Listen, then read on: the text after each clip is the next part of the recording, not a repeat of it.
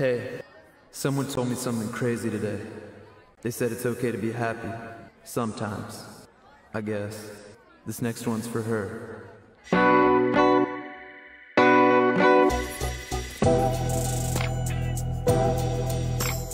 Oh, Lord of mercy, I'm begging you, please. I'm feeling drained, I need love. Charge me up like electricity. Jumpstart my heart with your love. There's an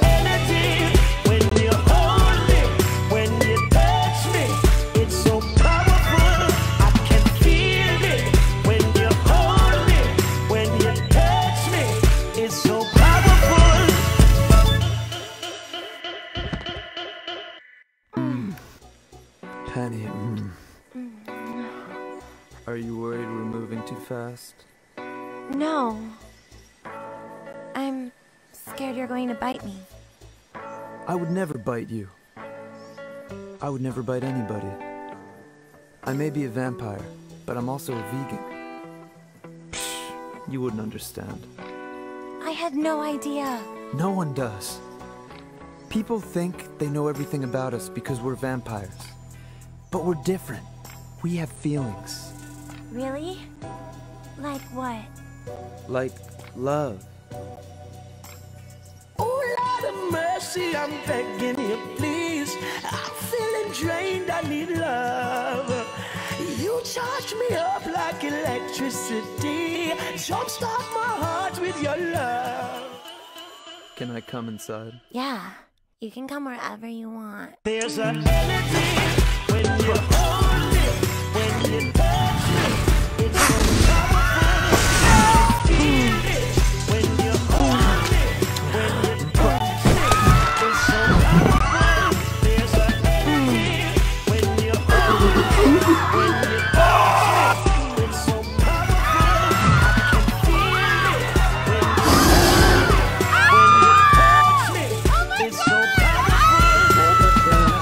Awesome.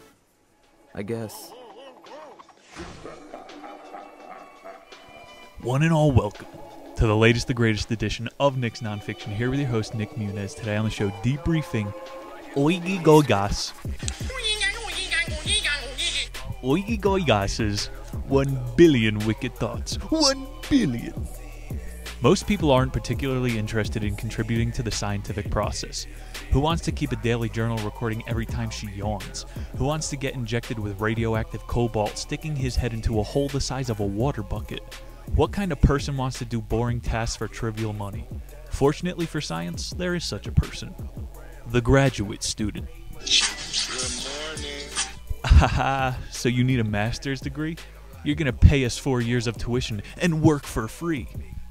You know, I wrote my senior thesis about how it's basically indentured servitude. They gave me a D on that paper. That's not even a bit. So for the past four years, I've been doing my independent research, I'm about to end this man's whole career. and I got my master's in Jeffrey Epstein. Oh, yeah. It's all coming together. This, that was a bit.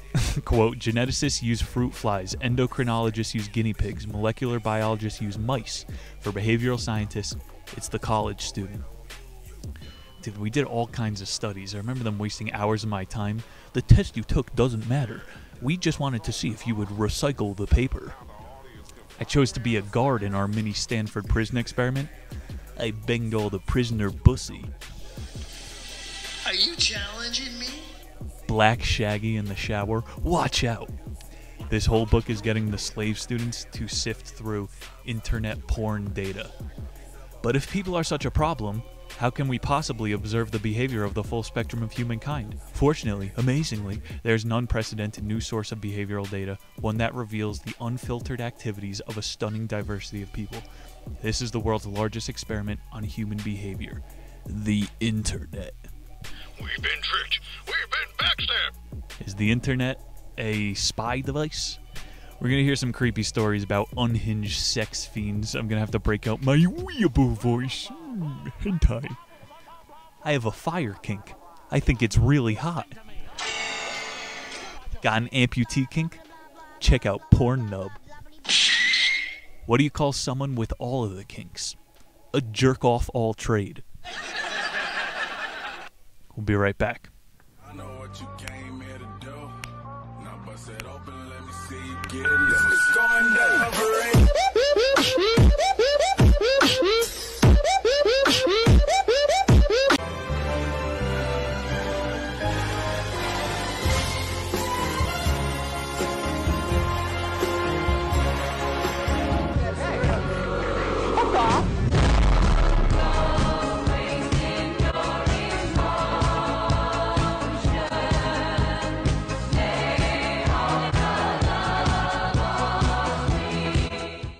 About the author, Oigi Goigas, the most interesting thing about him is probably that name. He's a neurologist and a pervert, so I kind of want to take this time to show you where the ideas come from. Not since Alfred Kinsey in the 1950s has there been such a revolution in our knowledge of what is really going on in the bedroom. Alfred Kinsey, American sexologist, biologist, professor of etymology and zoology. I think we're crossing a little too many lines there. What? Friggin' sexology plus zoology equals bestiology? That's why I'm an economist. From the New York Times, Kinsey continued to correspond with King until 1954, and she points out that Kinsey also corresponded with Fritz von Balluseck, a German pedophile and former Nazi who was tried for murder. So, like, they talked to the worst people, the biggest scoundrels for this book. But how cool is that guy's name? Fritz von Balluseck? You sussy baka. He was a pedo. Ew.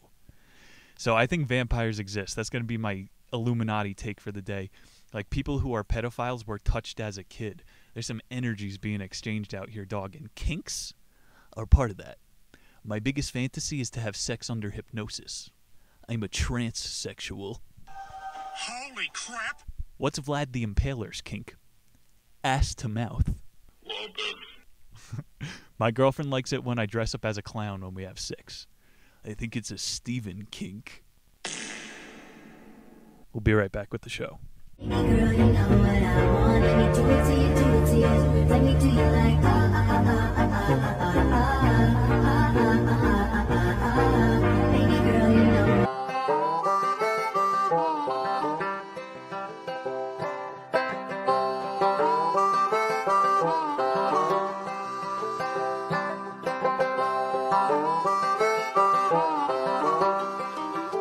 Billion Wicked Thoughts by Oigi Gogas. Thrown in a chaw dog. It's a long one. Rule 34. This is where he starts the story. Heinrich Hertz built the very first radio antenna in 1886. He wanted to test it for the existence of electromagnetic waves, as predicted by a Scottish theoretical James Clerk Maxwell. Hertz became the first person to successfully transmit and receive a radio signal, simultaneously proving Maxwell correct and inaugurating the field of radio physics. So we're not going to do this today. We're talking about sex. Go listen to the Patreon episode about electronics. Quote Unlike the origins of electromagnetic frequency, the origins of desire remain mysterious and controversial. There's no consensus on which sexual interests are normal, abnormal, pathological. Scientists can't even agree on the purpose of the female orgasm. Yeah, if it even exists. Or whether sexual fantasies are innocent or dangerous. So, like, I'm not saying anything's wrong today. We're just exploring the ideas. He's even saying scientists can't prove that it's bad to have a kink. I think I'm a little more vanilla or in touch with God. That's that'll be my take for the day. Because I've read like King of the Pervs, William Burroughs. He was saying he wants to see what's on the end of everyone's fork. That was his phrase. But like, he talked about raping children. The Yage letters. Don't read that unless you want to lose sleep for a week. and that's from Alfred Ginsberg to William Burroughs. So CIA guys are making you perverted. That's going to be another theme. Quote Are you willing to jot down answers to questions like Have you ever felt attracted to your pet schnauzer? And most people are saying no. That's why we have to spy on people to get honest data. So, you know, he's just priming the argument that it's okay to, for the NSA to exist. And I think that's true that people are attracted to their dogs. Like girls are just being honest on Twitter. You don't have to spy on us. Oh my god, is it just me or can anybody not be left in a room with a Great Dane? You want to fuck animals. Like that used to be my joke. How come white women want to have sex with dogs? They literally do. it's not even a joke anymore. This is a pre internet study. Kinsey and a small group of research assistants interviewed thousands of subjects in person, asking 521 questions about a tremendous variety of sexual interests, including bondage, bestiality, and silk stockings. Even by today's standards, the results were shocking. Before Kinsey, homosexuality was believed to be exceedingly rare, yet more than one third of the men reported having a homosexual experience. What? Nah, dude, one third? It's weird that kid who's like, remember when you had a sleepover and you would make out with your friend? No, that's you. Industrial society. Get off of TikTok. Where was this quote? So before Kinsey, homosexuality was thought to be rare. Women were believed to possess a very low sex drive. Yeah, right. And more than half of women reported masturbating. Premarital sex, extramarital affairs, oral sex all occurred far more frequently than anyone had suggested. So I, I don't really think we're the first generation to eat ass. In the 50s, they were on it. Sidetracks to another story. Just think about your grandma eating ass. In Gergen's experiment, five young men and five young women entered a small room one at a time. They did not know one another before the experiment, and they were kept isolated before they entered the room. So, I'm just thinking about every Korean war veteran got gonorrhea. They probably got banged by a ladyboy in Saigon. Sorry, the study. Once they entered, the boys and girls, they were free to do whatever they liked. At the end of the experiment, the subjects left the room one at a time. But what made this experiment so interesting was the room itself was pitch dark. The subjects couldn't see one another. They didn't know one another, and they knew they would not learn one another's identities.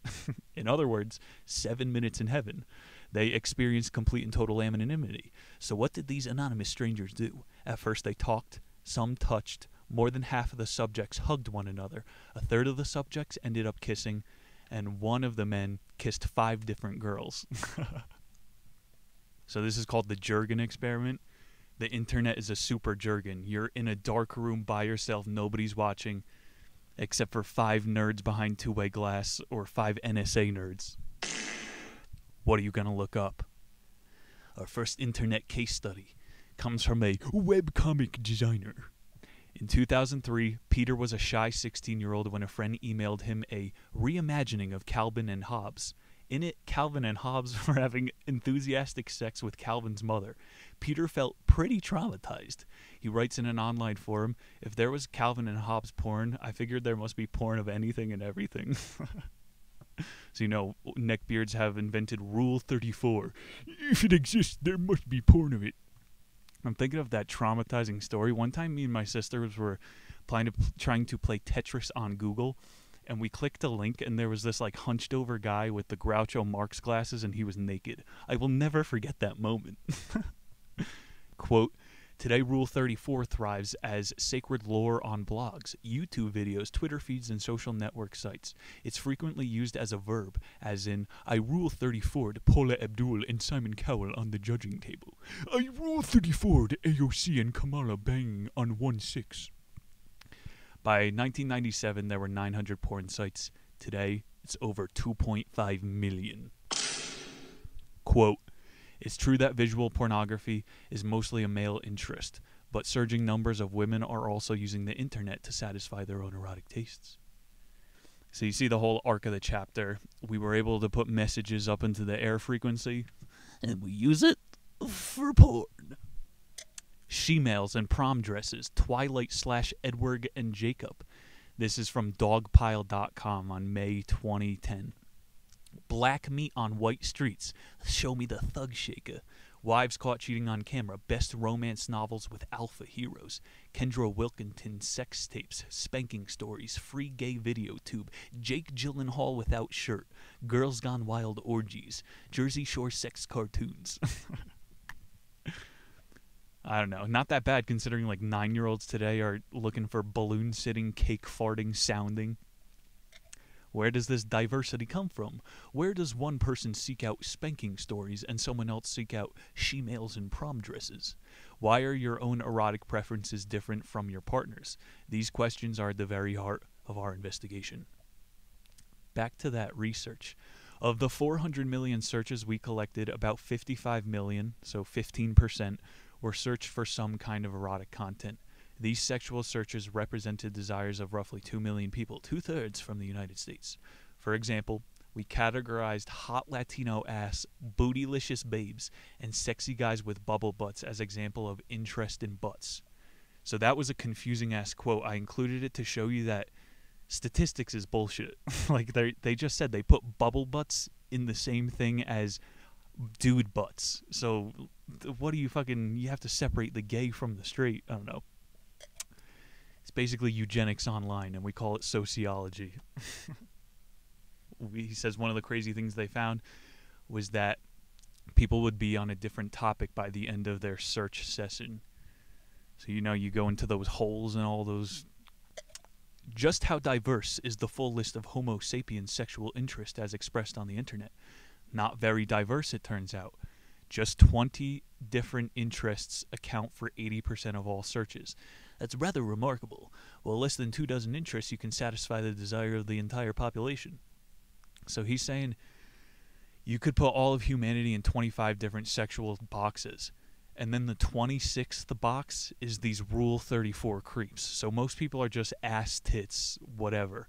And then there's dudes looking for sexy funeral directors, erotic stories about lumpy potatoes. I don't know. You'll find results. But I'm saying most people aren't looking for this stuff. It's like trans. Less than 1% of people are trans, but this stuff gets over propagated. So, my presumption back in chapter 1, we're still in it. There's more weird content than people even like. It's almost like this Rule 34 shit is there to move you closer to sexual perversion. It's more than anybody would want. Literally, like the Pornhub top 20 of the week it's the same guys beating off to that shit, and then there's so few people into that weird stuff.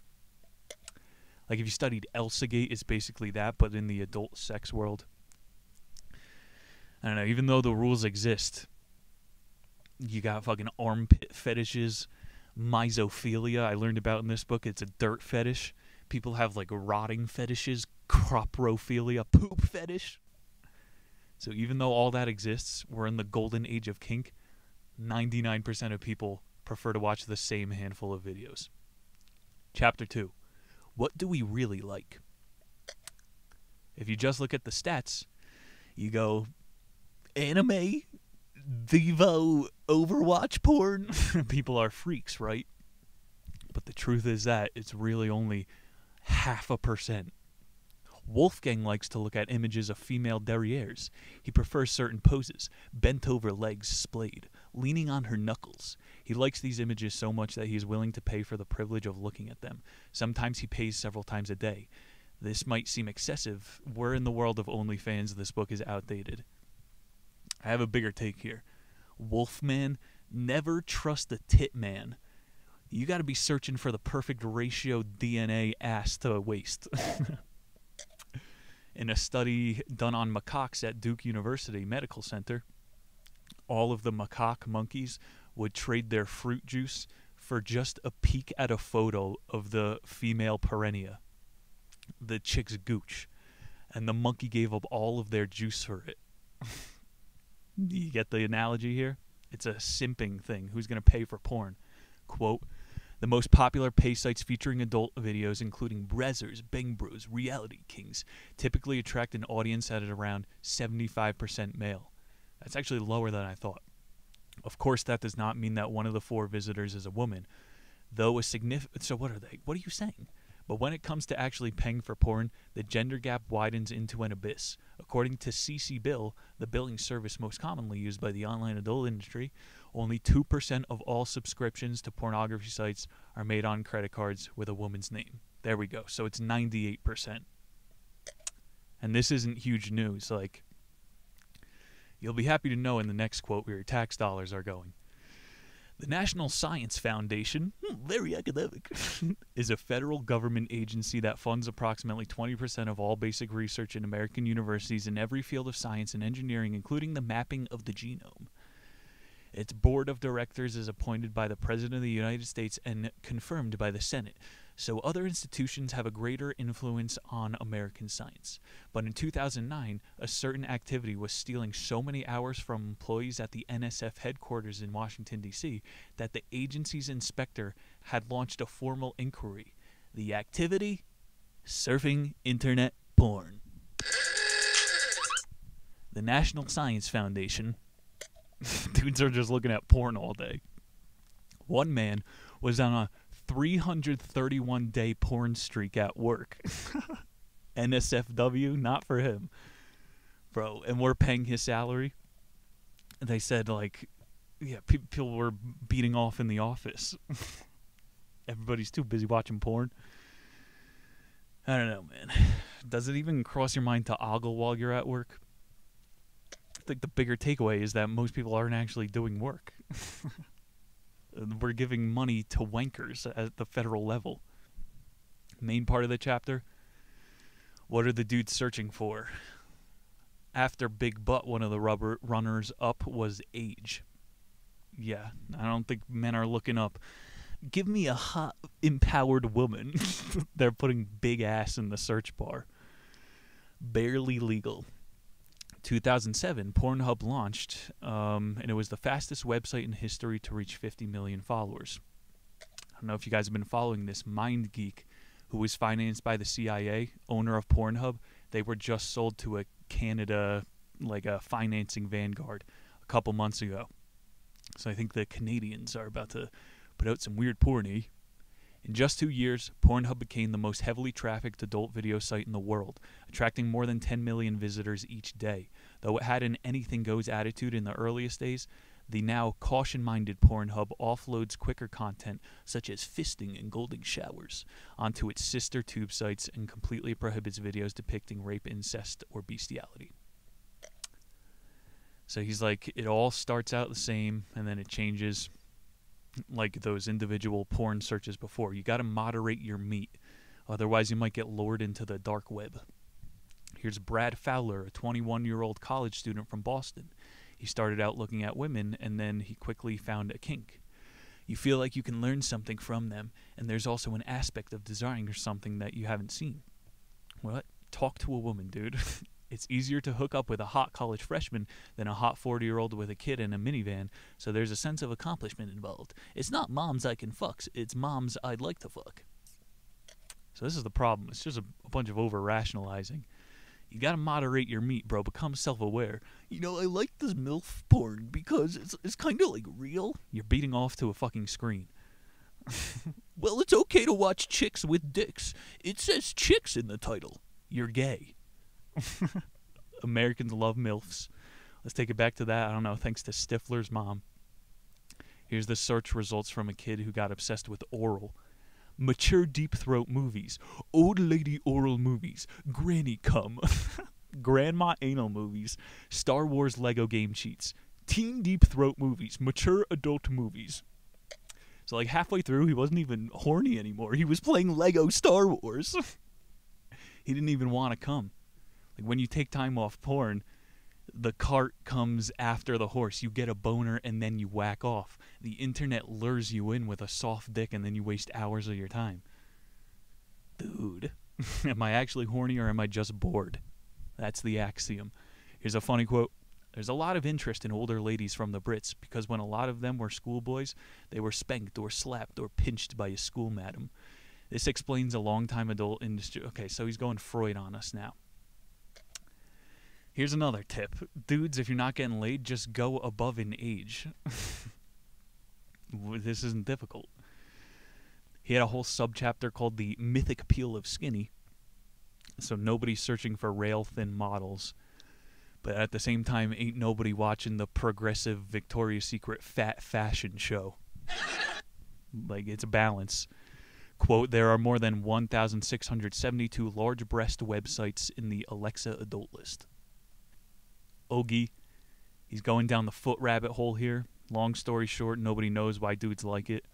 So, like, he was doing all that Freud stuff before. Quote So, if men are attracted to feet because of an innate reception to foot cues, was Freud mistaken in his belief that a foot obsession is related to submissiveness?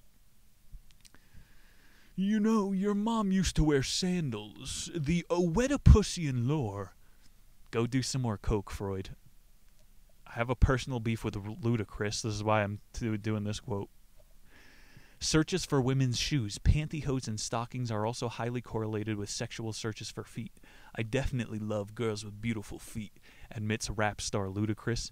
Sometimes she could trick me just wearing boots, not even showing her feet. But then I see the feet and it's a wrap. Give me the rhythm, rim little bit off with the clothes, bend over to the front, touch your toes. That's a ludicrous line. That guy sold his soul. You're gonna have to do a deep dive on Ludacris. I gotta find a book on him for you guys. Whatever. That guy's obsessed with feet. We're gonna end this on an interesting quote. Comedian Ron White describes a conversation with his cousin Ray. I told him we were all gay, buddy, and Ray goes, "That's bullshit, man. You don't like porn? Yeah, I love porn. Oh, and do you like to watch scenes with two women? No. I'll watch a man and a woman making love. Do you like the guy to have a flaccid penis? No. I like a big, hard, throbbing cock. So this is Ron White's joke. See, you like dick because blah. And they even did an eye tracking study where guys look at dicks more than girls. Dudes would click on thumbnails that have dicks in it. There's misconceptions on both sides. Women, they just want a security thumbnail. Man buys woman house in this porno. Chapter 3 Male Desire. This quote slips into the transhumanism side. We're all going to be making love to computers. When biologists tried to figure out which visual cues evoked sexual behavior in male owl, they found out that roosters would exhibit mating behaviors even when they exposed to artificial hen's comb. I said owl, it was supposed to be fowl. About half of all roosters attempted copulation with an artificial chicken head. Okay? I have a whole fucking thing about this in my book. The fucking Cambridge Analytica think tank psychologists are way ahead of us. They're just waiting until we beat our dicks off our bodies to porn for the next hundred years, and then comes the sex robots. Like, since nobody's fighting transhumanism, why don't we just turn off the porn now so they give us the sex robots? Those aren't my beliefs, but you see, it's just like a slow drip feed of cum. Soviet propaganda. They he had a whole thing in the book about how America's a bunch of consumers that just like to cum. But uh, our propaganda was right about them, bunch of commie bastards. Like we are in the prison of pleasure, Brave New World, and they are in 1984. What do we got? The male brain is designed to be more visually responsive to sexual stimuli than the female brain. Male arousal itself relies on two structures located in the subcortex, the amygdala, and the hypothalamus. So it's much more lizard brain. It's about view, visual cues. He starts interviewing some weebs about anime. The absolute territory is the band of skin visible between a woman's skirt and the top of her socks, or even more tantalizing, between a miniskirt and thigh high stockings. The socks and skirts are usually darker shades than the skin. Therefore, the skin is light at the end of a dark tunnel, gleaming in an aura of brilliance. Fans spend hours measuring the ratio of skirt to skin to sock length. Of Zettai Ryoiki images, according to one blogger's laborious calculations, the most sublime ratio for skirt length, skin to length of socks is 4 to 1 to 2.5. He says, memorizing this formula is as important as knowing the first 30 digits of pi. So fucking useless. That's how obsessed some of these dudes. Bro. Oigi Gogas. He doesn't take it in the cool direction, going, you know, their sacred geometry. That's why dudes like ass. Instead, he's going, mm, sociology. In India, the belly is a common male obsession. In Victoria times, ankles were considered highly erotic. Salvador Dali claimed to be aroused by a woman's earlobe. Thus, culture does seem to play some role in determining what part of the body the male brain char- triggers targets. So, no Fibonacci sequence action. He's just going cultural on us. All Pornhub had to do was make millions of boy twinks to the front page, and now a bunch of dudes are gay. like cultural? No, dude, it's all mental. Culture is not your friend. It's very easily subverted. This quote went one of two ways. You could take it biological or sociological. Breasts, hips, butts. Researchers have a name of the oversized parts of the female anatomy that men find so enchanting ornamentation. You might think that ornamentation is appealing because it signals a woman's current fertility, but according to many scientists, that's not quite right. Instead, the shapely curves of female ornamentation indicate how many years of healthy child laboring remain in the entire woman's life. So that's what I'm saying. We all pick up on the shit biologically. You could tell by how fat a chick's ass is, by how many kids she could pump out. It's like all this other crap feet, ankles, bellies. It's just what your culture is fetishizing. So if you break away from the culture, it's just funny that dudes are beating off the feet. This perverted ass neckbeard psychologist. He spent his life studying sex. It's not that hard. Well, let him go. He winds up making some pretty based arguments. If male desire software was designed to prefer one night stands, men should prefer sex with adult women over adolescents, since adolescents have re- relatively low fertility. So, like my thing about bang old women before, if I just really cared about sex and men were sex obsessed, I would just be banging easy chicks all the time. But literally, as a dude, he's right. He's going, You just want a thick young honey. That's what it's about. And uh, then you want to be loved and all that gay shit. Quote Though men exhibit a general preference for youth and long term relationships, the male brain is designed to flexibility to preserve both long term and short term relationships. Aww. So, yeah, we could switch it on and off. But I like women. It costs me nothing to have sex with a bunch of chicks. Obviously, you have to hedge your bets, and we're in a retarded ass society, so women don't have anyone supporting them unless they could get a man to commit to a government contract. Ending the chapter. In many ways, tube sites like Pornhub are technological innovations that are perfectly designed to appeal to the male sexual brain. They offer unlimited visual stimuli that can be easily searched by body part, age, weight. Male desire is instantly activated by visual cues and is directed towards immediate action, in particular, behavior leading towards orgasm. Once male desire is triggered, it does not easily subside. As comedian Louis C.K. put it, if you showed me my mother's decapitated head while I was fucking, I would tell you, we're gonna have to talk about this just as soon as I come. Chapter 4 Female Desire. This chapter was mostly about that FSU study. It doesn't have a cool name like the Gergen 7 Minutes in Heaven.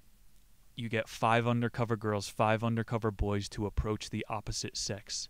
They ask three questions Would you date me? Would you go home with me? Would you sleep with me? The male responses go 50% would date, 70% would go home, 75% would go to bed. And to me, that means 25% of men aren't able to sniff out a scam. no chick. Anyway, the female responses are the exact opposite 60% are going on the date, 5% are going home, and 0% put out. But I like to look at these statistics with the positive side. This means men, at any moment, there's a 5% chance that a girl will go home with you. And you know statistics are bullshit because 5% that go home with you, 4% will sleep with you. 5% chance. Let's go. I don't know, female desire in this chapter. They like wasting time. wasting time, I mean small talk over physical pleasure. Girls aren't motivated by sex, they're motivated by security. Female desire, maximum security, minimum blowjobs. Maximum security prison. this chapter got interesting because he was talking about pharma companies. And they think men and women are the same because you got to treat them as a spreadsheet. Pfizer started prescribing women phosphodietrycines. It actually said phoso twice. it's the thing in Viagra that makes the blood clot in your penis. So they're like, man, let's give it to some women. Ruptured blood vessels in their reproductive system. I don't know. You got to credit to the author here. He's describing how not just Viagra, but all pharmaceuticals negate the mind body connection. He was going deep. You're supposed to be in control of your boners. Everything is mental. Once you take a blue chew, Pfizer is now the middleman in your body. You got to ask Pill Daddy if you could get a fucking hard on. This Stop. Females, they have a stronger mind body connection. And men are. Chicks are still chugging antidepressants, so nobody's right here. But you got to kind of get in touch with your vagina sometimes. He dropped a Joe Rogan bit. Men versus women desire. He's talking about the 72 virgins. Ass is so strong, there are dudes willing to blow themselves up for a highly unlikely possibility of ass in another dimension. There are no chicks alive willing to blow themselves up for penis. it's a good point. That's probably from uh, Chimps in Outer Space when Rogan was woke. The most sociopathic of women just see men as cum basters. So I'm saying it goes both way. When men realize how psychotic women can be, that's when we're really going to get the artificial womb tech finished within a week. This was a dank point. He's proven how women have a negativity bias. Evolutionary, they have to choose a safe male. In a love letter study, a majority of women used the phrase, I miss you, where men instead would say, I look forward to seeing you. like bitches are always putting themselves up in a tower guarded by dragons. This quote rules Men are more likely to suffer from autism, which is frequently characterized as a social disorder based on an inability to take in the point of view of others. One prominent research characterizes autism as a consequence of hypermasculinization. I'm saying women pop pills like candy this whole chapter. More dudes than ever are autistic.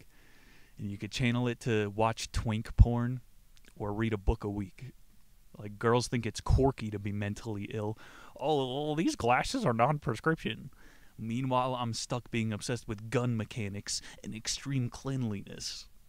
Quote In the 19th century, Jane Austen took the romance to its greatest literary heights. Reselling romance authors today include Nora Brooks, Jackie Collins, Stephanie Myers, but the modern structure of the romance is still attributed to 1972 novel The Flame and the Flower by Kathleen Woodiwiss. The classic romance has been through 42 printings and is still in print today. Here's the summary of the book and its cover. We might need some sexy music here. The Flame, a lusty adventurer married to the sea. Captain Brandon Bringhamham counts.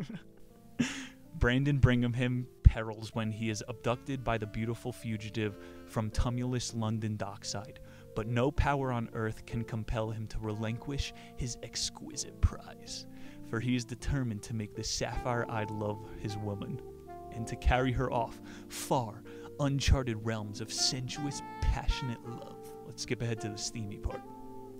He eased the head of his cock in, then waited for me to relax before thrusting the rest of the way inside. I moaned. I couldn't help it, Jeremy. I gasped to the rhythm of his fucking. If you're tired of the line, why don't you just stop? Hush, let me fuck you. this is what women read? And uh, don't you come, you little fuck slut. Jesus, I'd really ticked him off. Yes, Jeremy. Yes, whatever you say. It works in the bedroom. I don't know if it works with sexy, funny music. yeah, learned helplessness is a turn on. I'm not blaming women for anything this chapter. I'm just saying admit that you're hornier and lazier than us. I read all the time. I can't imagine reading romance books 300 pages a day, week after week. Like I'm saying, read the right books. Erotic novels and videos, they're there to make you horny, not to make you think. This was a super interesting thing. They crunched the most frequent male characters from 15,000 Harlequin novels Doctor, Cowboy, Boss, Prince, Rancher, Knight, Surgeon, King, Bodyguard, Sheriff. Couple new stripper outfits I need to add to the rotation there. I show up at a bachelor party in chainmail armor. Gonna need some help taking this off, ladies they fucking crunch the data further, the most common plot line in these 15,000 books, The Taming of the Coconut. It's just a dumb plot device. It's the same thing as The Taming of the Shrew. So we'll take it a top notch up on you guys. Shakespeare was doing satire of the Harlequin novels. Like all of his shit is a comedy, making fun of it's a satire. Usually the woman has to tame the guy to be done with his adventure. And in the taming of the shrew, a guy wants to marry this hot chick, but his older sister isn't married. So he's making fun of all the novels. He has to convince a dumb guy to marry the older sister so he can marry the hot chick. Shakespeare was like the first South Park. Chapter 5 Conclusion. There are more than 26 million porn sites. The online porn industry makes over $3,000 per second. One in four search queries are about porn. More than a third of all downloads are porn. One in five men watch porn at work. this is the real epidemic. 20% of men are watching porn at work. I've definitely had coworkers doing that. I think deeper in this epidemic, it's a loneliness thing. Sunday is the highest traffic day for all these sites. Like, dudes nowadays are just hiring hookers to talk to them. It's the saddest shit ever. We may have high speed internet, porn. Humans need community. Now that we've finally seen what's on the end of a billion forks, we can draw some conclusions. Conclusions. One of the most interesting things is this. If you are a woman, then no matter what your attributes, big or skinny, A cup or double E, mother or grandmother, you are a sexual ideal and the greatest erotic fantasy for an abundance of men. As for men, some of us may have a harder time finding a sexual match, and perhaps the one we find most attractive may not reciprocate our sentiments. Sexual attraction may not always lead to long term compatibility. So, yeah, there's your uh, male privilege. But seriously, chicks, there's always a guy that will treat you as a god. But as the software of the brain has become ever more different from the software of the past, it has increased the number of opportunities for disruptors during the neural development. Sometimes female software ends up with male components. Sometimes male software gets female components. The very gulf that separates a woman's brain from a male's brain is responsible for all the wondrous diversity of se- human sexuality. You're going to have to tune in this Saturday to the Patreon. This is the Kybalion law of gender. We're being made dumber and asexual, and that's where all of human creativity comes from. I still want to fucking have sex with women. Maybe that's why I do this. that's the conspiracy. And it's proven when you follow the money. Alphabet funds all these tube sites that get you to watch transsexual stuff. Ogi is saying it has this cross generational effect. So in two generations, the lines are going to be totally blurred. An Illuminati two for one. Ending the battle of the sexes. When literary scholar Janice Radway asked the woman in a romance discussion group about male sexuality, the woman reported that they did not want to adopt male standards. They wished that men would learn to adhere to theirs. Like, I'm just taking the male side to be funny. We both got to come to the table. Yin yang, we need each other. The feminists saying, we're not going to budge an inch. That's not going to help. We both got to come for each other. Let me get spiritual at the end. The Minister Muniz. Sin isn't looking up porn. I don't know. You have your vices, I have mine. That's a pretty bad justification here, but sin is it's trusting yourself, thinking that it's okay to look at porn. so, like, I'm not trying to do Roman Catholic bullshit here. Thinking that you're outsmarting porn, it's a brain trick, okay? Stop. It's bad, okay? Final quote. As American author Edward Abbey writes, modern men and women are obsessed with the sexual. It is the only realm of primordial adventure still left to most of us. Go in the woods. Like apes in a zoo, we spend our energies on the one field of play remaining. Human lives otherwise are pretty well caged in by the walls, bars, chains, and locked gates of our industrial society. Industrial society and its future. A billion wicked thoughts by Ogi Ogas. Got the Kybalion coming up on the Patreon. Fucking three days away. Get subscribed. Harry shit on Instagram. Free memes every single night. Also in the community tab, we got some book related funny memes over there. Get involved. We get a random soundboard effect to end this episode. Perfectly balanced. This whole thing should be. Yin and yang. Love you guys. Nick Muniz signing off. See you soon. Peace.